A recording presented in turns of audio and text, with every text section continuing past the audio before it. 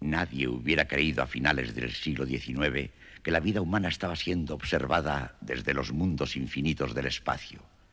Nadie habría podido soñar que estábamos siendo estudiados como se examinan bajo un microscopio los organismos en una gota de agua. Pocos hombres admitían incluso la posibilidad de vida en otros planetas. Sin embargo, a través del abismo espacial, mentes infinitamente superiores a las nuestras dirigían su codiciosa mirada hacia esta Tierra. Y lenta, pero inexorablemente, dispusieron sus planes contra nosotros.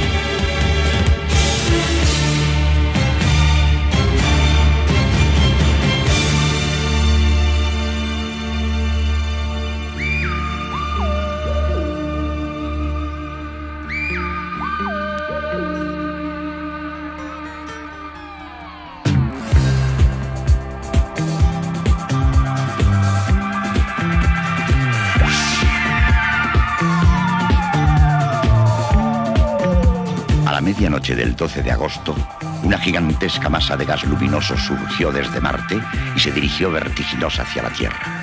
surcando un vacío de millones de kilómetros, llegó el primero de los misiles que habrían de traernos tantas calamidades. Mientras yo observaba, hubo otra explosión de gas. Otro misil se ponía en camino.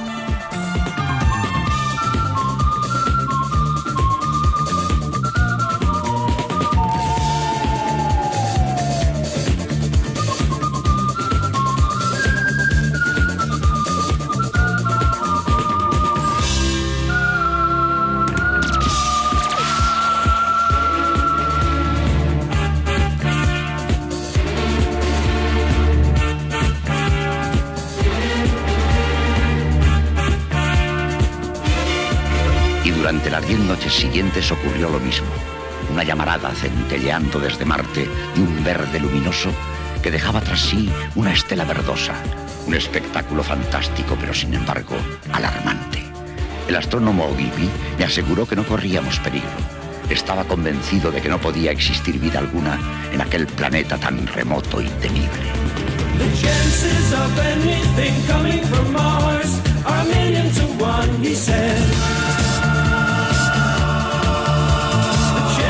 Anything coming from Mars are a million to one. But still, they. Luego llegó la noche en que el primer misil se acercó a la Tierra.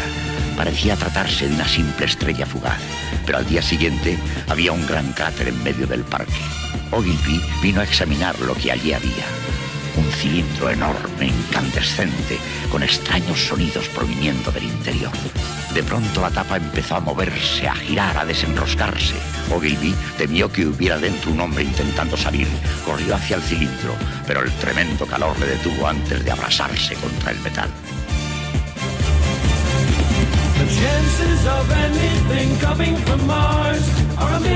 one.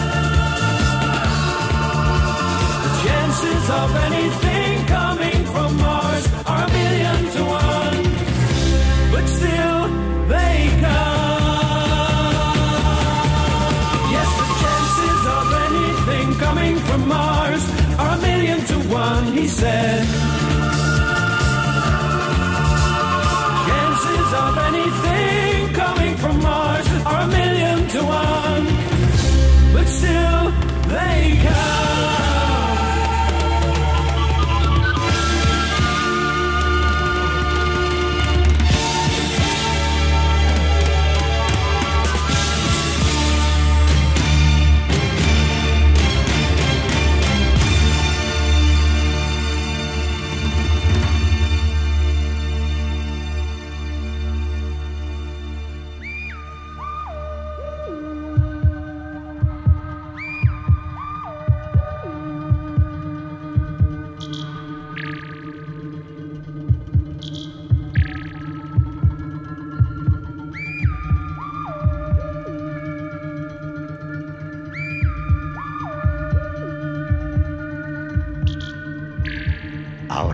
resulta increíble que la gente pudiera pasar aquella noche como cualquier otra.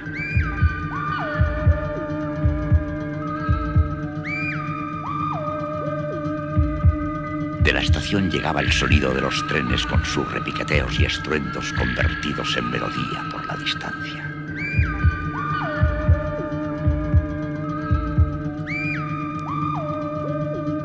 Todo parecía tan tranquilo y seguro.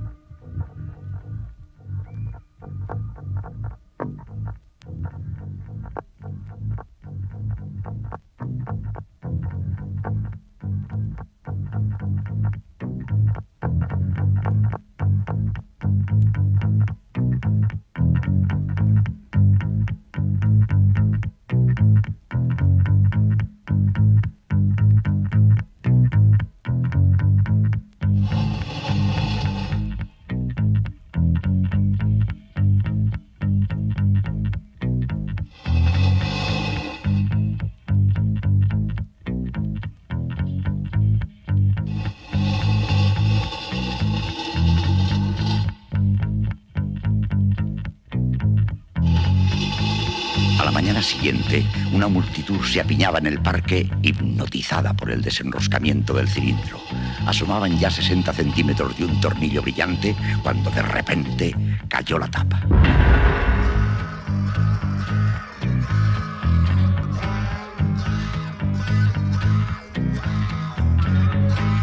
Dos ojos como discos luminosos asomaron por el borde.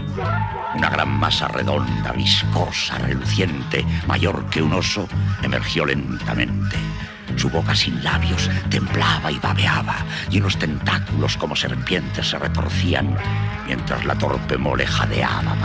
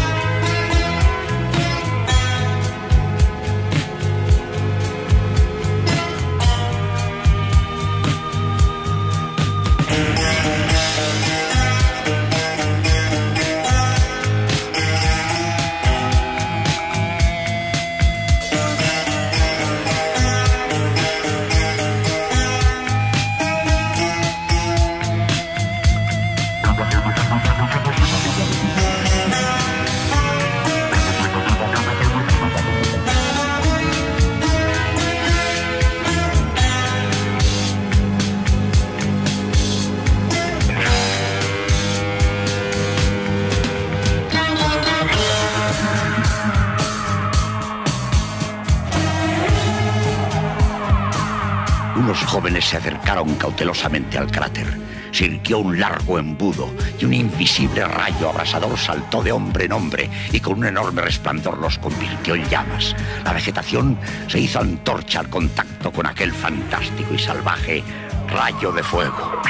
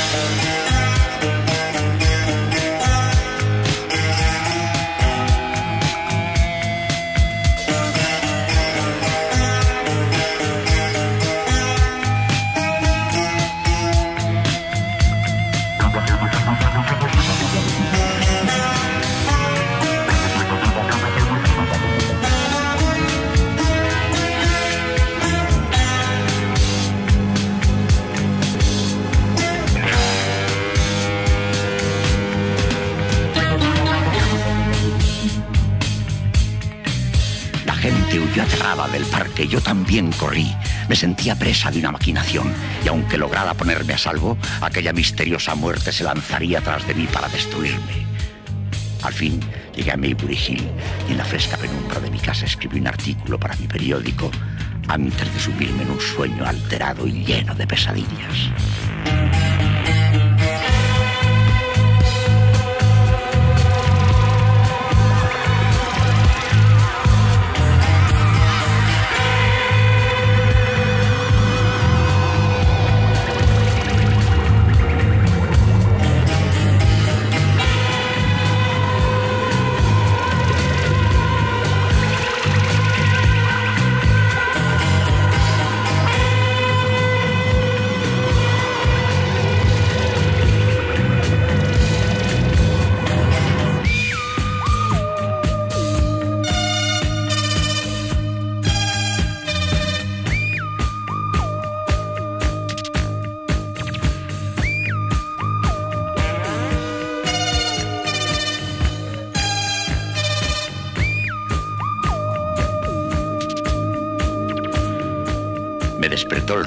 Extraño martilleo que venía del cráter y corría a comprar el periódico.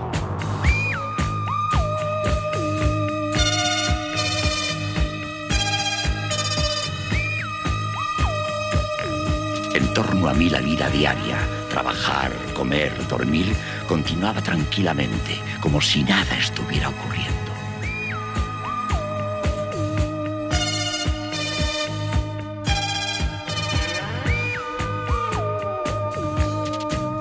Parque Horsel, los marcianos se agitaban con sus martilleos sin descanso, infatigables, trabajando en las máquinas que construían. De vez en cuando barría el parque un haz luminoso como el reflector de un barco de guerra y el rayo de fuego quedaba listo para su empleo.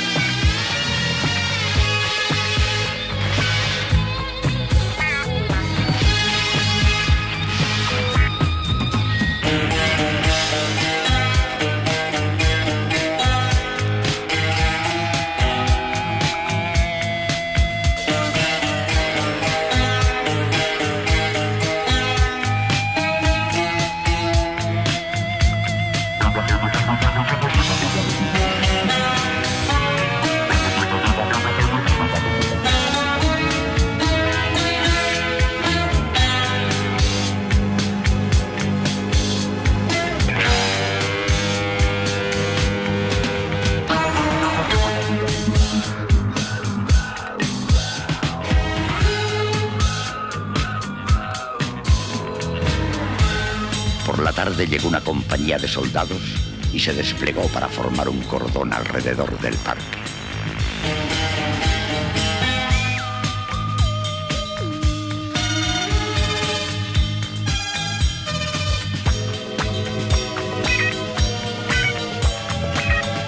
Aquella noche se oyó una violenta explosión y me di cuenta horrorizado de que mi casa se encontraba al alcance del rayo de fuego.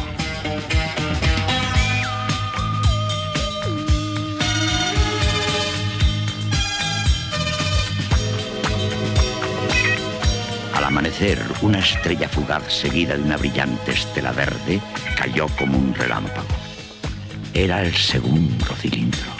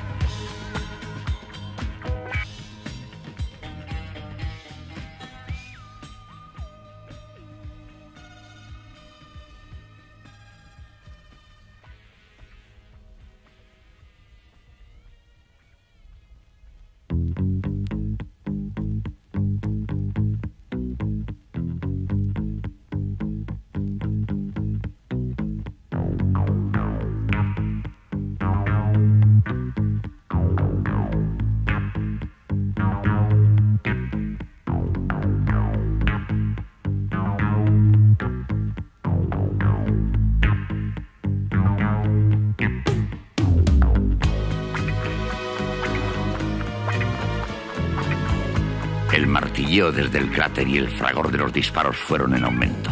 Mi espanto creció al oír unos pasos sigilosos en la casa.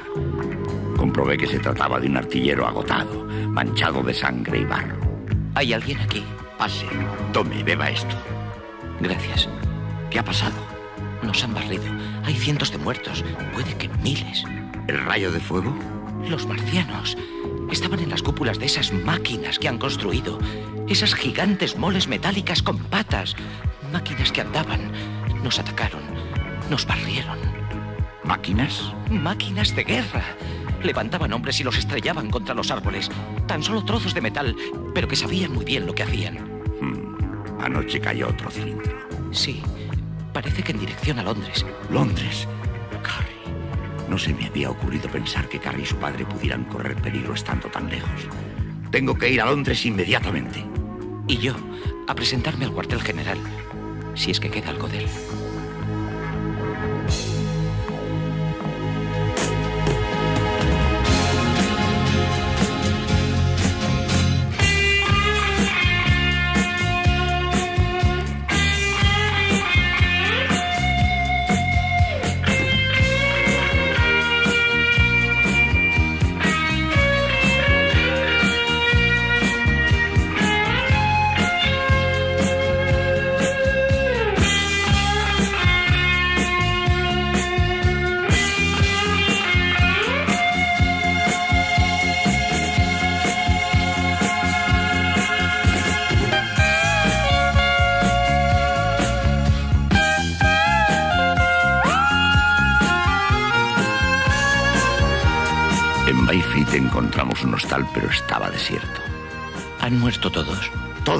Mire, ahí hay seis cañones con sus artilleros preparados.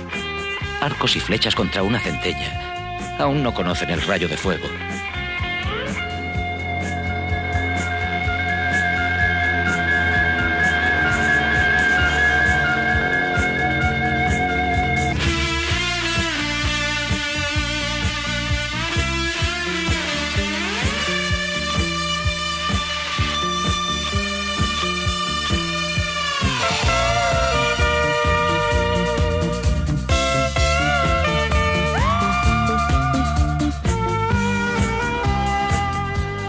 Corrimos hacia Weybridge. De pronto hubo una terrible explosión. El suelo tembló, los cristales de las ventanas saltaron y en el aire aparecieron unas ráfagas de humo. ¡Mire! ¡Allí están! ¿No se lo dije?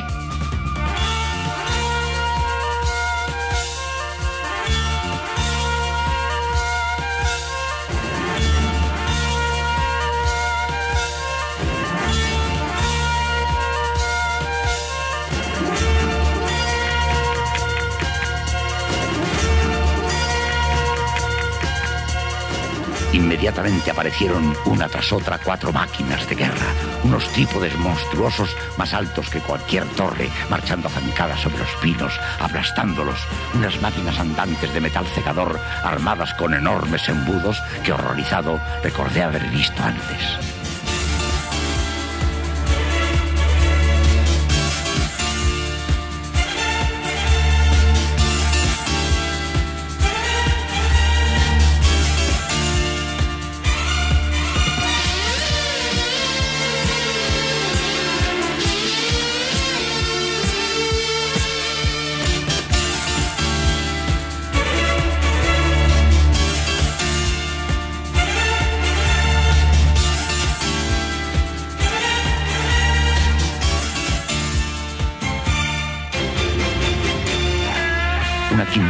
Apareció en la orilla del río.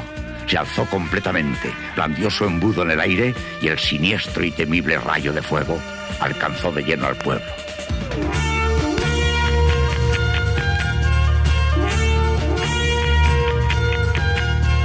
Las máquinas de guerra mostraron su júbilo, emitiendo unos ensordecedores rugidos que retumbaban como truenos.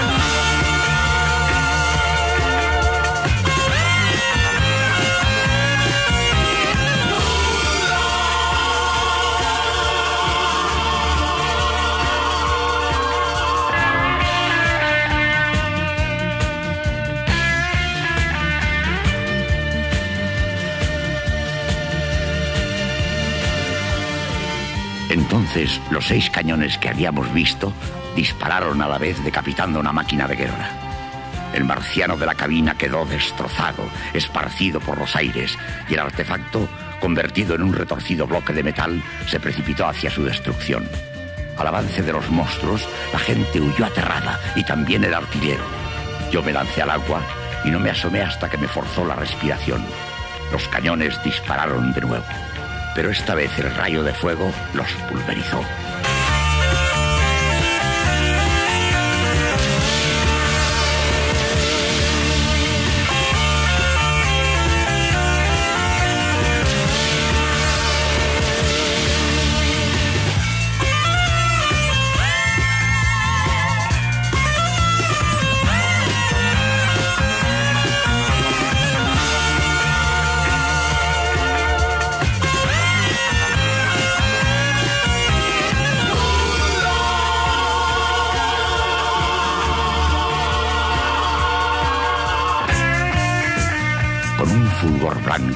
El rayo de fuego penetró en el agua.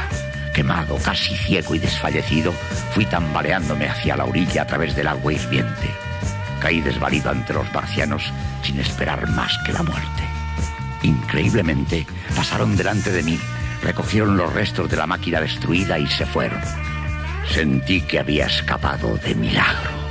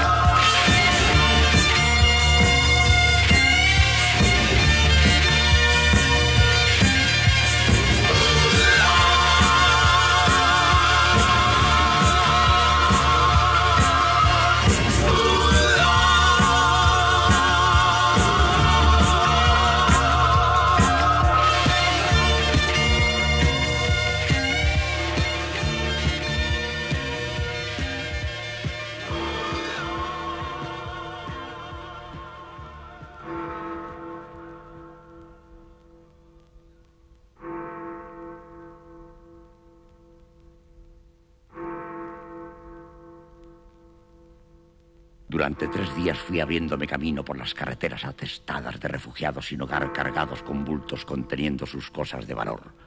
Todo lo que yo tenía de valor se encontraba en Londres, pero cuando al fin pude llegar a la casita de ladrillo rojo, Carrie y su padre se habían ido.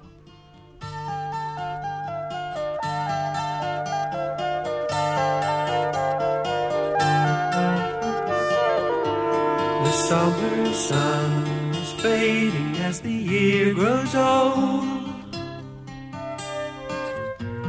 And darker days are drawing near. The winter winds will be much colder. Now you're not here.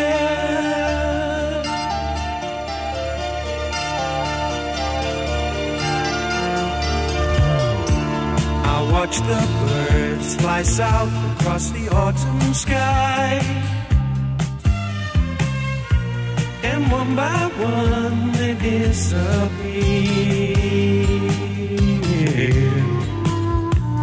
I wish that I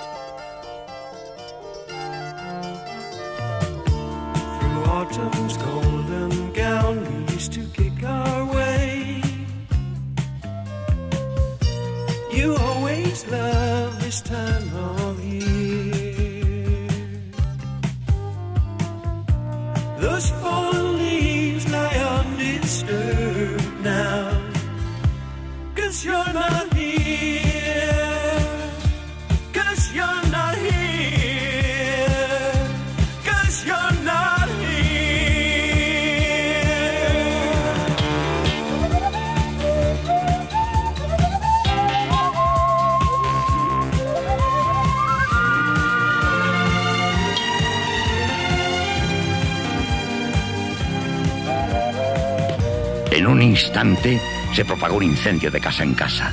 La población corrió despavorida y me vi arrastrado por ella, vagando desorientado y perdido, sin Carrie. Por fin me dirigí al este hacia el mar. Mi única esperanza de salvación era un barco para huir de Inglaterra.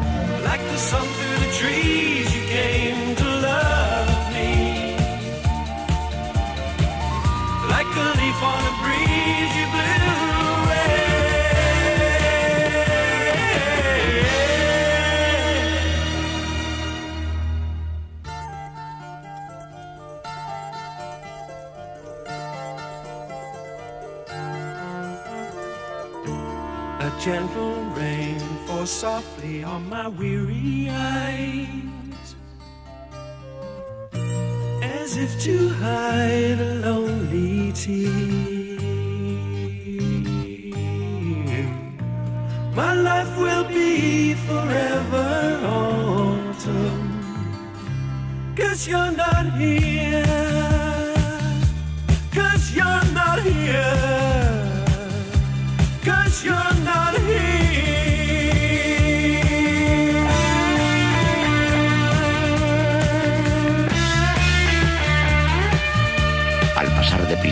Covent Garden, Blackfriars y Billingsgate, observé que cada vez se unía al doliente éxodo más y más gente. Mujeres tristes y agotadas, sus hijos avanzando a trompicones con las caritas sucias de lágrimas, sus maridos amargados y furiosos, hombres ricos entre mendigos y parias, perros gruñendo y lanzando alaridos, y por todas partes soldados heridos, tan indefensos como los demás.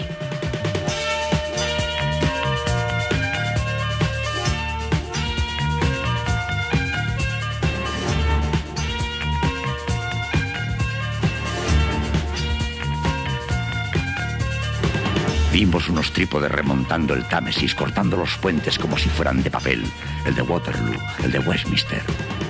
Uno de los monstruos apareció sobre el Big Ben.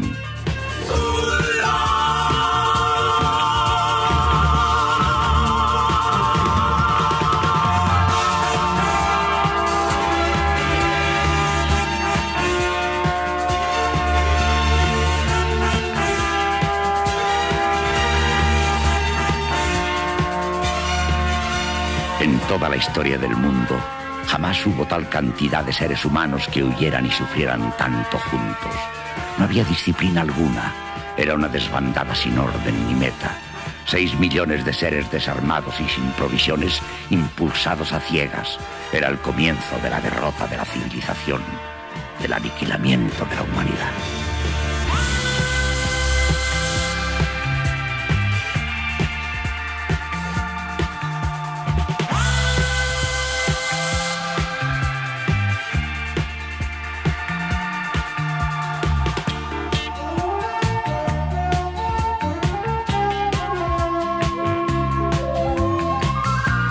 Gentío me empujó hacia el vapor ya repleto.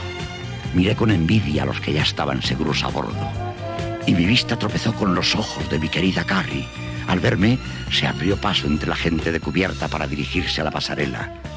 En ese instante la levantaron y mientras la multitud me arrastraba lejos de ella, pude ver por última vez su cara de desesperación.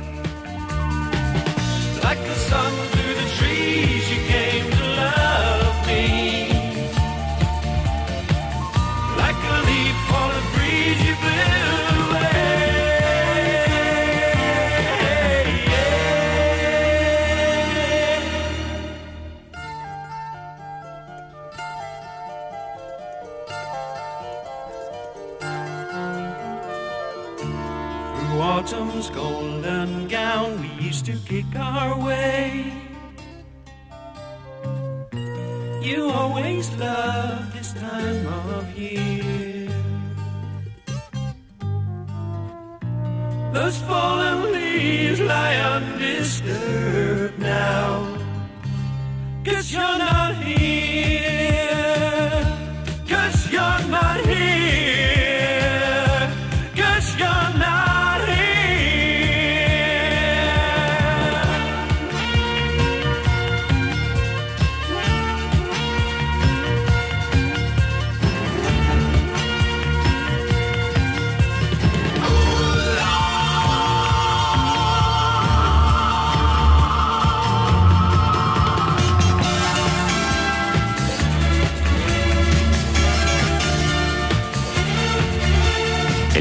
Empezó a moverse lentamente cuando en el horizonte apareció la silueta de una máquina de guerra, después otra y otra, dando grandes zancadas sobre montes y árboles, adentrándose en el mar e impidiendo la salida del barco.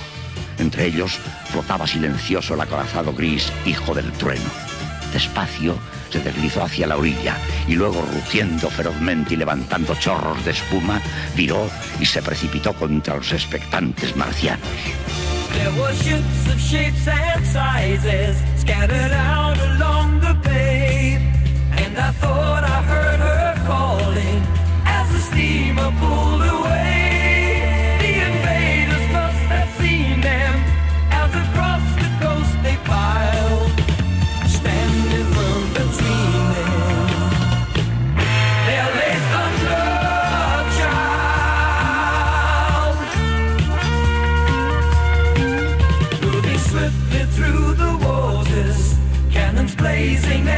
came. Brought a mighty of warlord, crashing down in sheets of flame.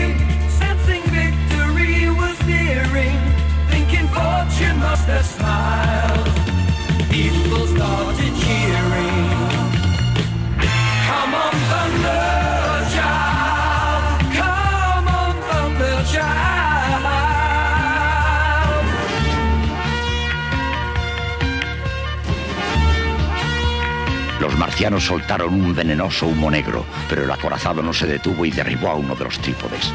Los demás lanzaron sus rayos de fuego y fundieron el valeroso corazón del hijo del trueno.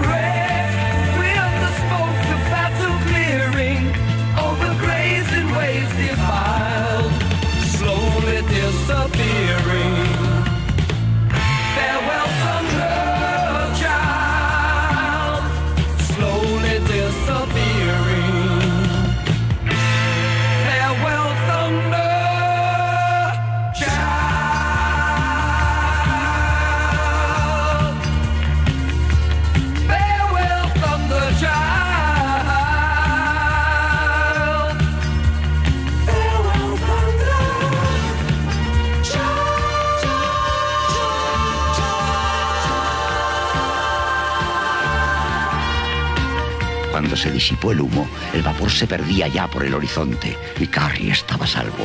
Pero el hijo del trueno había desaparecido para siempre y con él la última esperanza humana de victoria. Por el cielo cruzaban llamaradas verdes, un cilindro tras otro, y nada ni nadie podía hacerles ya frente. La tierra pertenecía a los marcianos.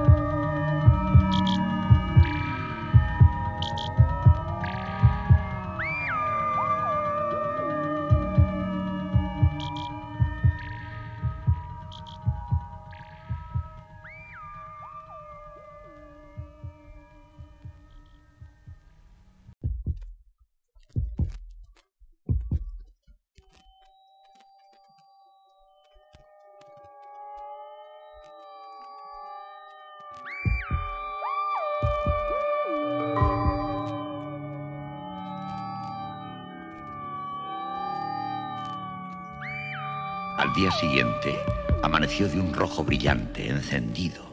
Yo vagaba por el extraño y terrible paisaje de otro planeta, porque la vegetación que le da a Marte su aspecto rojizo había echado raíces en la Tierra. Igual que el hombre había sucumbido ante los marcianos, nuestra Tierra sucumbía ahora bajo la maleza roja.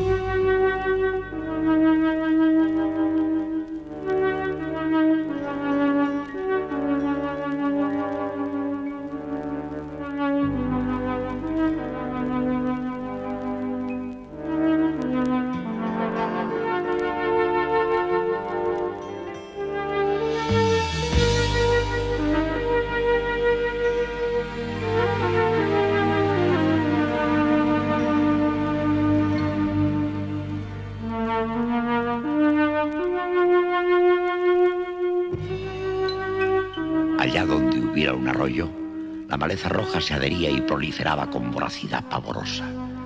Su ramaje, como garras, detenía el curso del agua. Después se arrastraba como una bestia roja y viscosa por la tierra, cubriendo campos, zanjas, árboles y setos con sus tentáculos escarlata,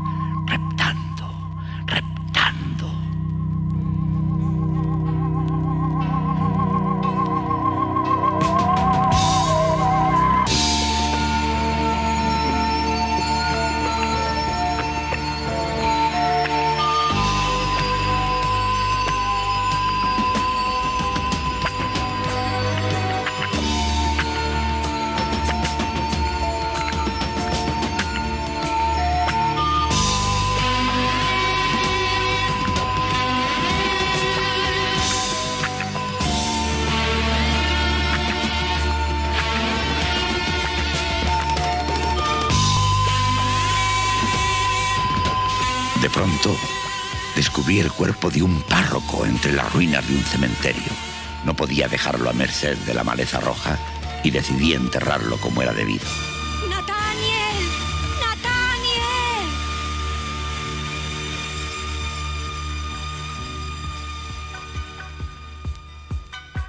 Los ojos del párroco parpadearon. Estaba vivo.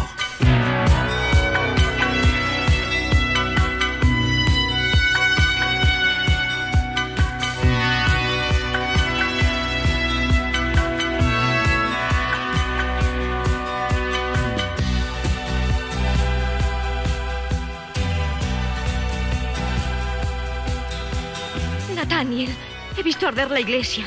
¿Estás bien? No me toques. Si soy yo, Beth, tu mujer. No, eres uno de ellos. Un demonio. Está delirando. Mentiras. He visto la señal del diablo. ¿Qué dices? El fulgor verde en el cielo. Sus demonios estaban aquí desde siempre, en nuestras almas y nuestros corazones, esperando la señal de él. Y ahora están destruyendo nuestro mundo. Si no son demonios, son marcianos. Debemos irnos de aquí. Miren, una casa todavía en pie. Vamos, Nathaniel, deprisa.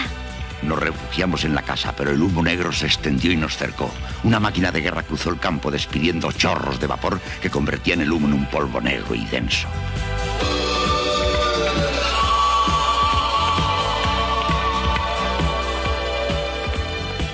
Dios mío, ayúdanos. La voz del diablo se oye en nuestra tierra. Listen, do you hear them drawing near in their search for the sinners? Feeding on the power of our fear and the evil within us. Incarnation of Satan's creation of all that we dread. When the demons arrive, those alive would be better off dead. There must be something worth living for. There must be something worth trying for. Even something worth dying for. And if one man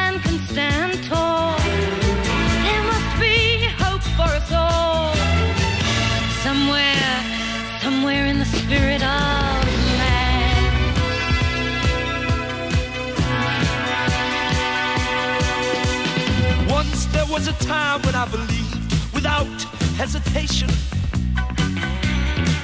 that the power of love and truth could conquer all in the name of salvation. Tell me what kind of weapon is love when it comes to the fight? And just how much protection is true against all Satan's might? There must be something worth living for. There must be something worth trying for. Even something's worth dying for. And if one man can stand tall, there must be some hope for us all. Somewhere, somewhere in the spirit of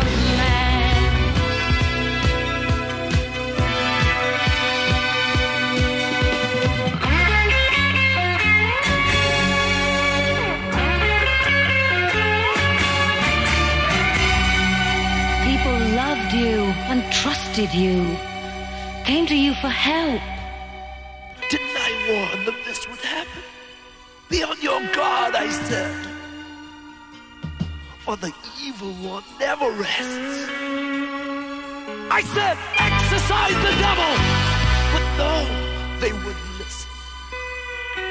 The demons inside them grew and grew until Satan gave his signal and destroy the world with do.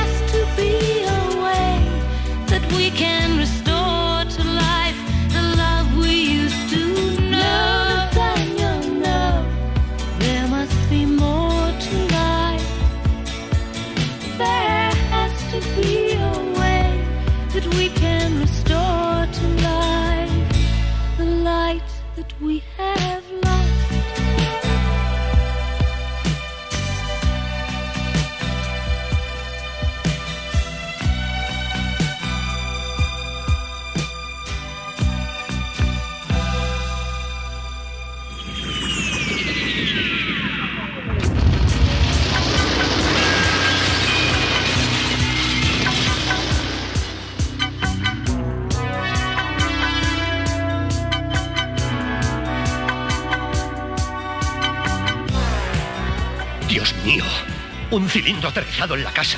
Y estamos debajo, en el cráter.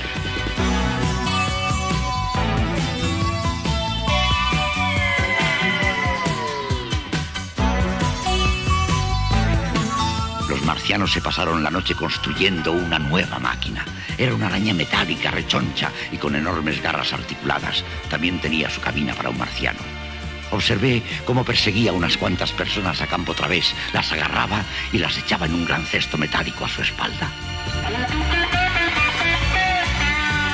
Blade ha muerto. Sepultada bajo los escombros. ¿Por qué? Satán, ¿por qué te has llevado a uno de los tuyos?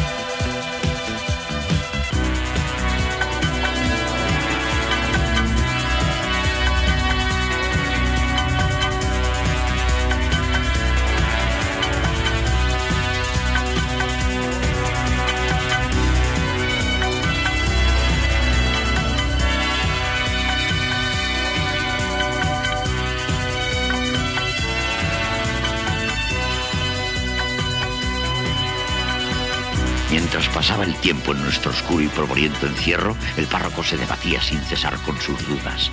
Sus gritos podían suponer nuestra muerte, pero aún así me inspiraba lástima.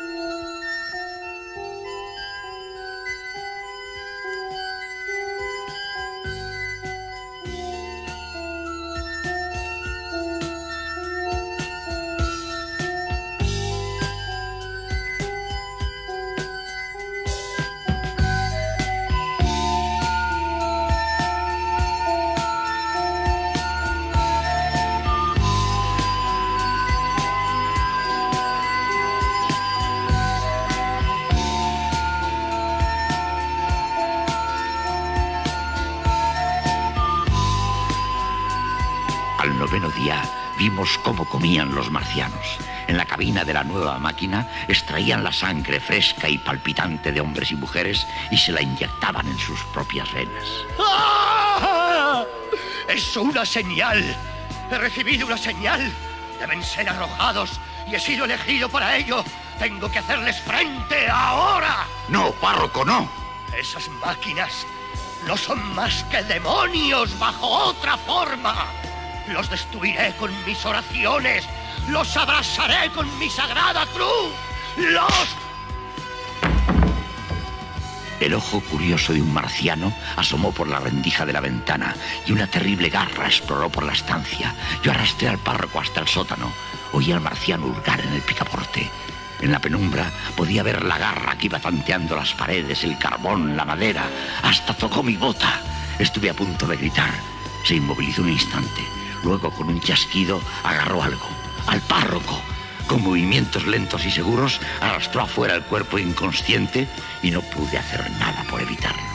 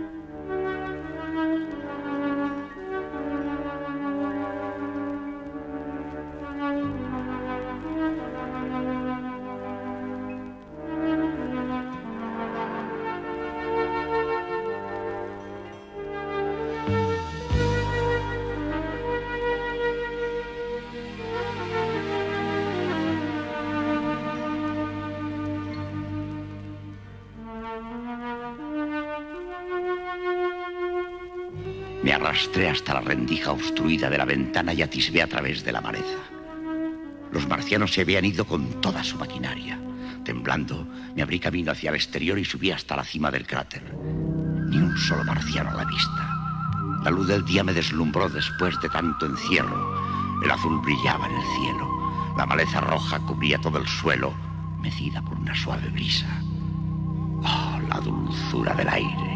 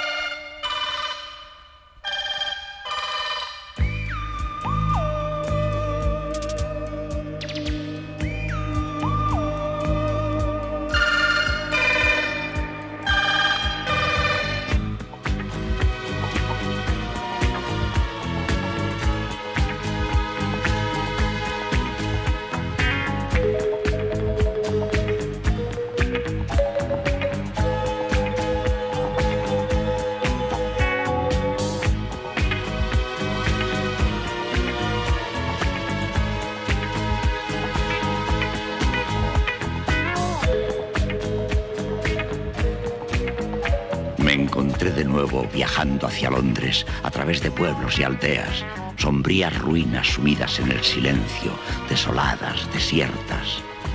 Había desaparecido el imperio del hombre, conquistado con rapidez y precisión por aquellas criaturas hechas por entero de cerebro. Libres de los complejos sistemas que constituyen el hombre, ellos construían y utilizaban distintos cuerpos según sus necesidades. Jamás se cansaban, ni dormían, ni sufrían al haber eliminado de su planeta las bacterias causantes de todas las enfermedades.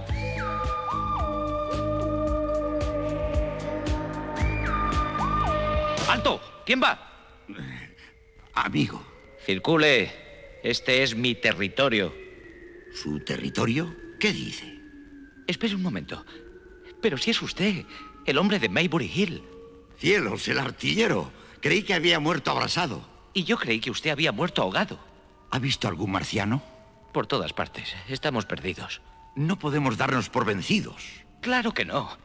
Es ahora cuando debemos empezar la lucha. Pero no contra ellos, no les podemos ganar.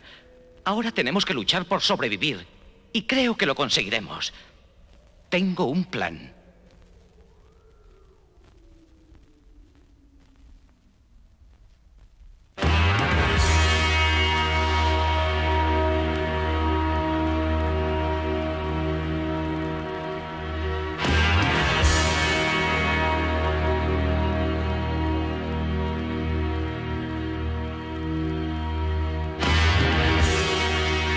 Vamos a construirnos todo un mundo nuevo. Ellos nos echan la vista encima y nos liquidan, ¿no? Pues llevemos una vida donde nunca nos encuentren. ¿Sabe dónde? Bajo tierra. Debería mirar ahí abajo. Hay cientos de kilómetros de alcantarillas, muy frescas y limpias después de la lluvia. Oscuras, tranquilas y seguras. Podemos construir casas y de todo. Empezar de cero. ¿Y qué tiene de malo vivir bajo tierra? Le diré que no ha sido tan fantástico vivir aquí arriba.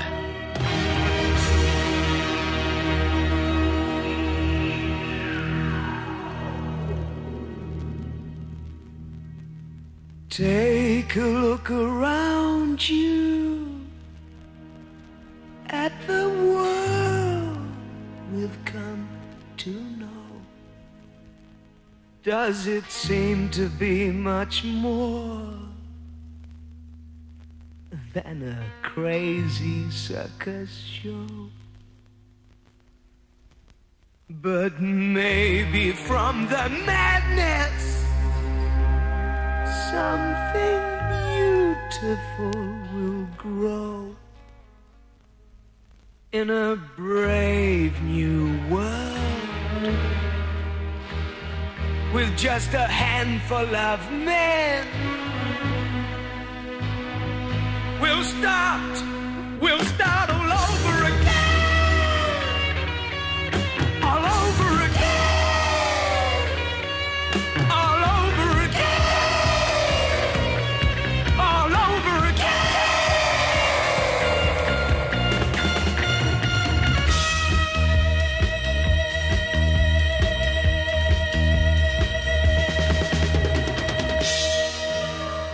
Construiremos tiendas y hospitales y cuarteles bajo sus narices, justo bajo sus patas. Todo lo que necesitemos. Bancos, cárceles, escuelas. Mandaremos expediciones para hacernos con libros y cosas de esas. Y los hombres como usted enseñarán a los niños. Pero no poesías ni bobadas, sino ciencia, para que podamos ponerlo todo en marcha. Construiremos aldeas, pueblos y, y jugaremos al cricket. Puede que algún día capturemos una máquina de guerra. Aprenderemos a fabricarlas nosotros mismos. Y luego... ¡Fas! Habrá llegado nuestra hora de destruir. ¡Fas! Con nuestro propio rayo de fuego. ¡Fas! Y ellos, huyendo y muriendo, derrotados en su propio juego. Y otra vez, el hombre en cabeza.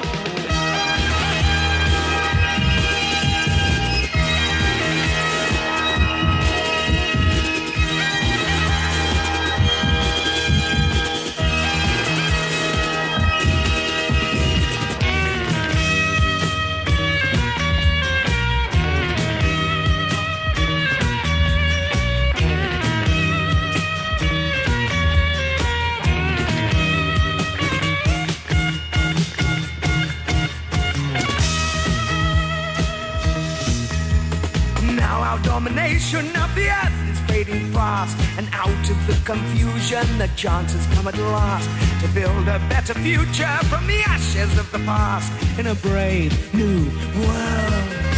With just a handful of men, we'll start all over again.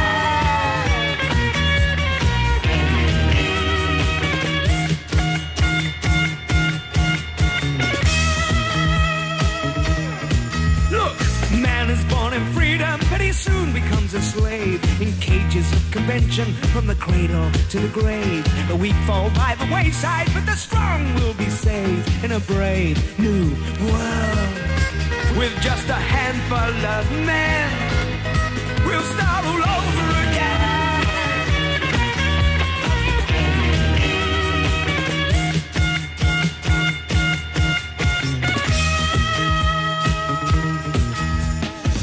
not trying to tell you what to be. Oh no, oh no, not me. But if mankind is to survive, the people left alive, they're gonna have to build this world anew. And it's going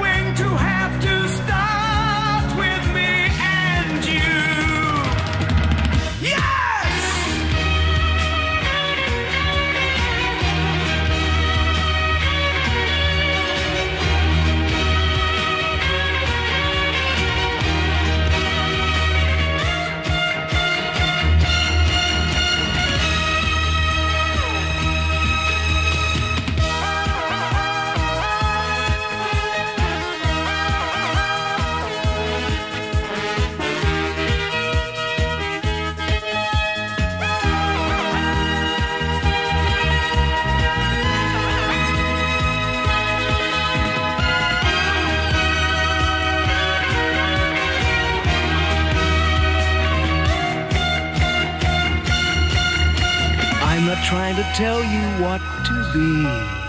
Oh no, oh no, not me. But if mankind is to survive, the people left alive, they're gonna have to build this world anew. Yes, and we will have to be the chosen of all the poverty, the hatred, and the lies, and imagine the destruction of all that you despise. Slowly from the ashes, that phoenix will arise in a brave new world. With just a handful of men, we'll start all over again.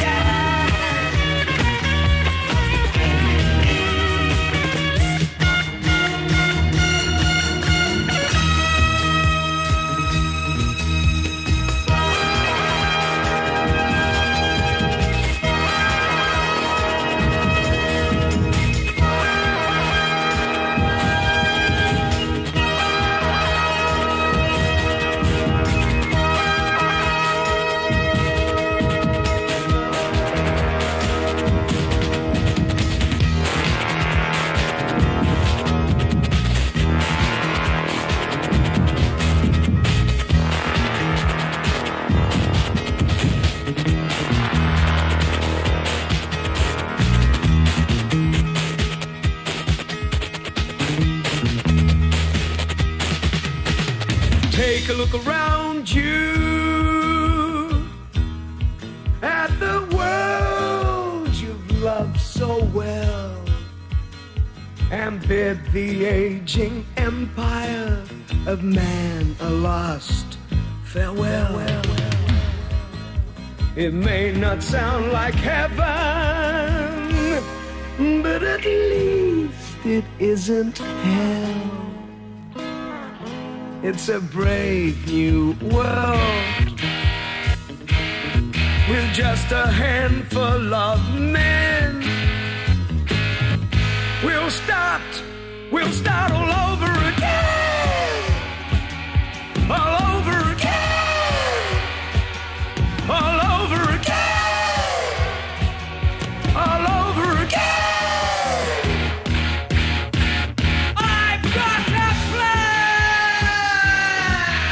imagina? La civilización empezando de nuevo. otra oportunidad.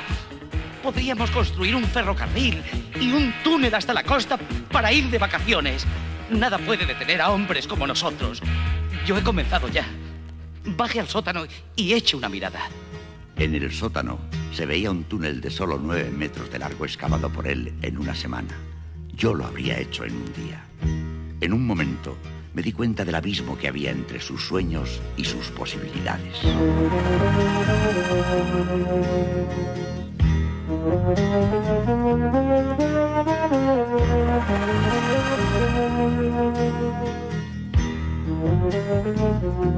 Pensar y trabajar es demasiado. Voy a descansar un rato. ¿Qué le parece un trago? Champán, por supuesto. Ahora soy el amo. Bebimos y se empeñó en jugar a las cartas. Nuestra especie al borde del exterminio, una muerte horrible como único futuro, y nosotros jugando.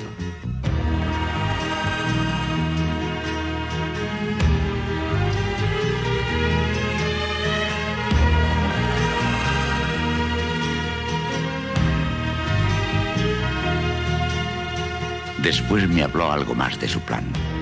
Pero vi las llamas que se alzaban en la oscura noche, la maleza roja que brillaba, unos triples lazándose a lo lejos. Y dejé mi copa de champán. Me sentí como un traidor a mi propia especie. Tenía que alejarme de aquel extraño soñador.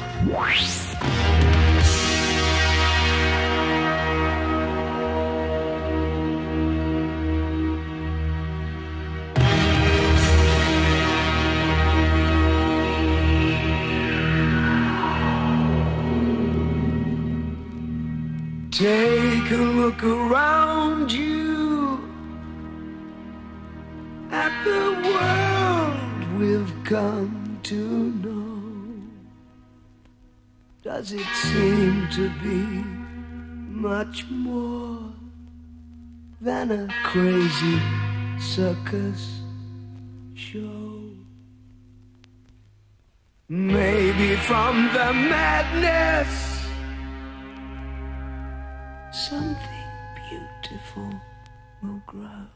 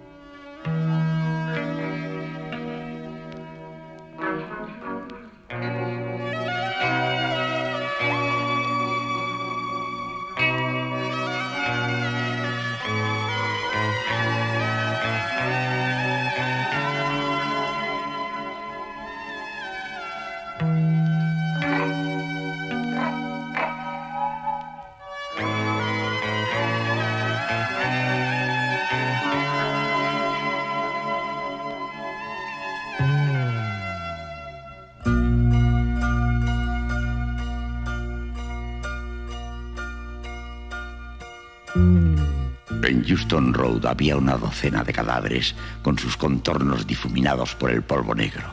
Todo era silencio. Las casas vacías, las tiendas cerradas pero con huellas de pillaje. Algunos se habían llevado vino y comida. Y delante de una joyería había algunas cadenas de oro esparcidas por la acera.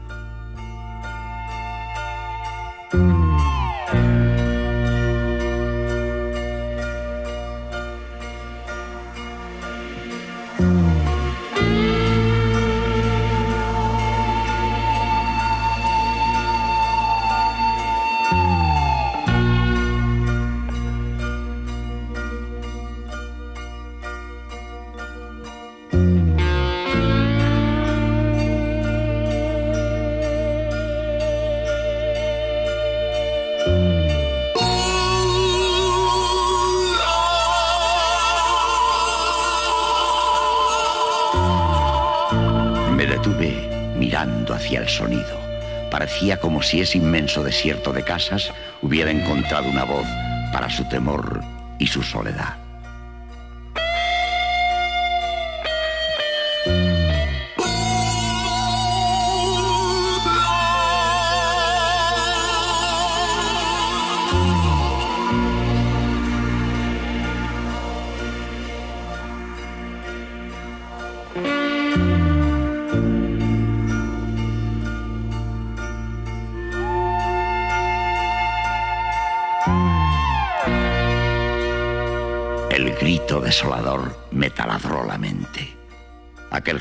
Se apoderó de mí. Me sentía agotado, con los pies doloridos, hambriento, sediento. ¿Qué hacía vagando solo por aquella ciudad de muertos? ¿Por qué seguía vivo mientras Londres yacía envuelta en su negra mortaja? Me veía insoportablemente solo, arrastrándome de calle en calle, inexorablemente atraído por aquel grito.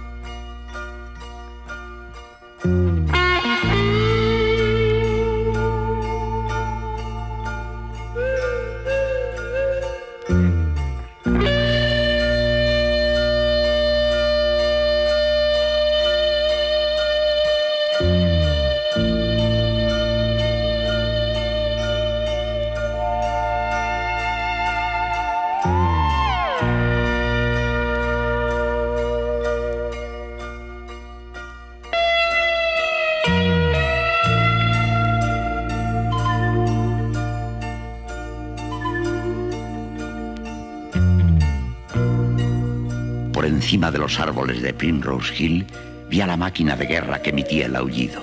Crucé Regent's Canal y me encontré con otra máquina igualmente erguida, pero tan inmóvil como la anterior.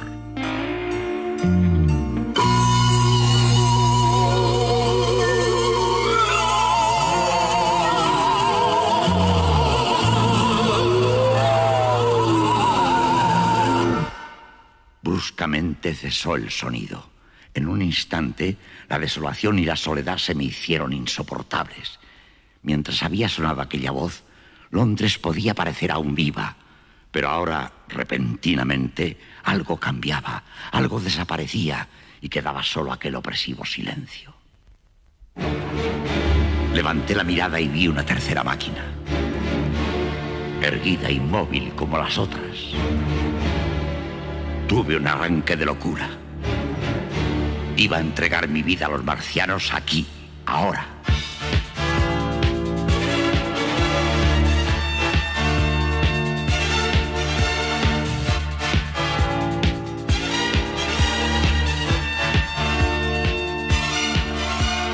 Me dirigí con temeridad hacia el titán y vi un enjambre de pájaros negros que revoloteaban y se apiñaban en torno a la cabina. Eché a correr y mientras subía por la colina hasta el inmóvil monstruo, no sentía miedo, sino un salvaje y estremecido júbilo. Por fuera de la cabina colgaban unos jirones que los voraces pájaros picoteaban y desgarraban.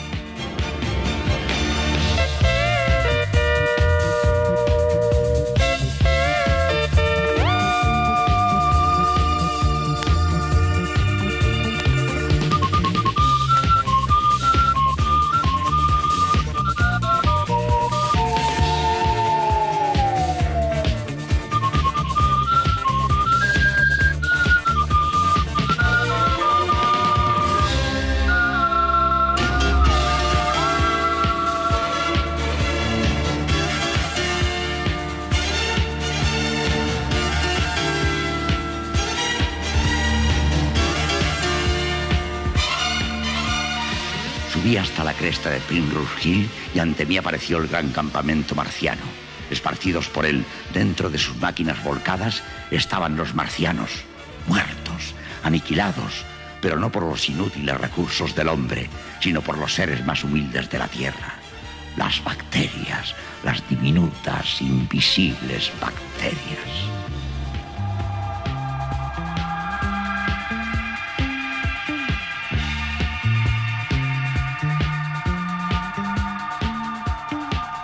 Según fueron llegando los invasores, al comer y al beber, les atacaron nuestros microscópicos aliados. Desde ese momento, estaban condenados.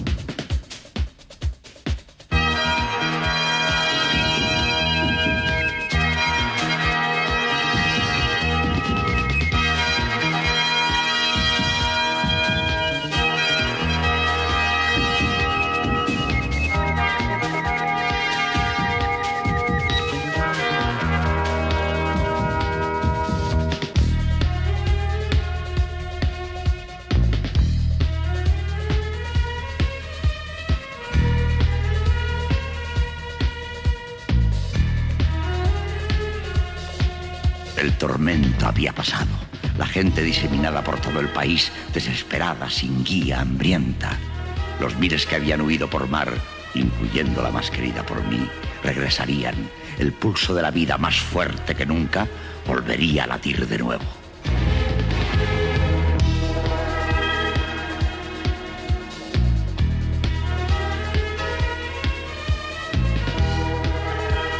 Mientras la vida recobra su normalidad, el tema de otro posible ataque de Marte produce universal inquietud. ¿Está nuestro planeta seguro o es este periodo de paz tan solo una tregua? Puede que a través del espacio infinito hayan aprendido la lección y esperen otra oportunidad. Quizás el futuro no sea nuestro, sino de los marcianos.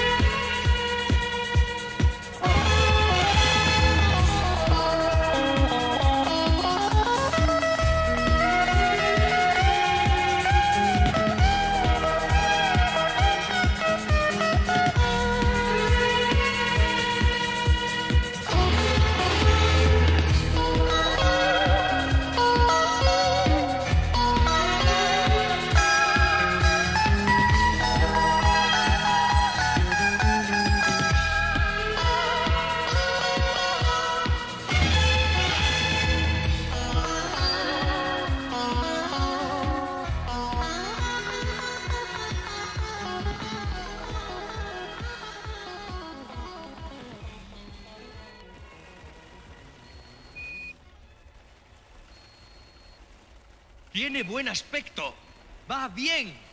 Estamos recibiendo fantásticas imágenes en control NASA en Pasadena. La nave llegó a Marte exactamente al punto previsto. Estamos viendo un paisaje extraordinario, cubierto de rocas. Violetas, rojas. ¿Qué te parece, Bermudas? Fantástico. Mira ese campo de dunas. Eh, hay un fallo técnico ahí arriba. Ahora estoy perdiendo una de las naves. Bermudas, ¿tú la tienes? No, he perdido contacto. Hay una polvareda en Marte. Ahora he perdido la segunda nave. Tenemos problemas. Todo contacto perdido, Pasadena. A lo mejor la antena... ¿Qué es esa llamarada? ¿La ves? Una llamarada verde que viene de Marte con una estela verdosa. Se está acercando. Bermudas, ¿la ves? Adelante, Bermudas. Adelante, Houston. ¿Qué pasa? Estación de seguimiento 43. Canberra. Adelante, Canberra. Estación de seguimiento 63. ¿Me oyes, Madrid? ¿Me escucha alguien? ¡Adelante! ¡Adelante!